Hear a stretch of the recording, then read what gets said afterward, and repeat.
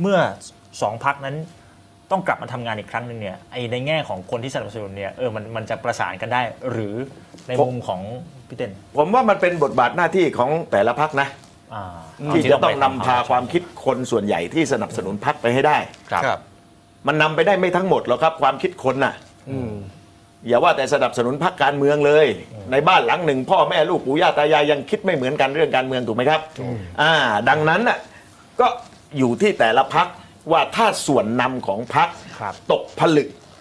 ในแนวทางเดียวกันเนี่ยก็ต้องพากันไปให้ได้อืมแล้วก็อย่าไปกลัวทัวร์ลงไม่ว่าจะเป็นทัวร์จากอีกพักหนึ่งหรือทัวร์ในบ้าน ก็ตามเออ ครับ